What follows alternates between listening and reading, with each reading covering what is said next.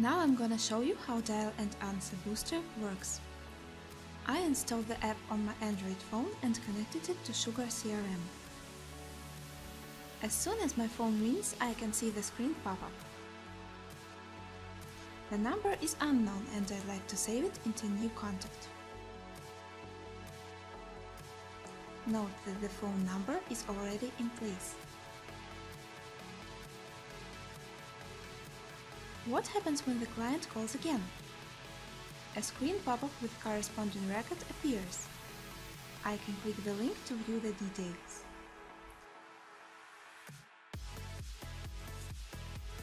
What if I wanted to call the client? I just click on his phone number and my phone dials it.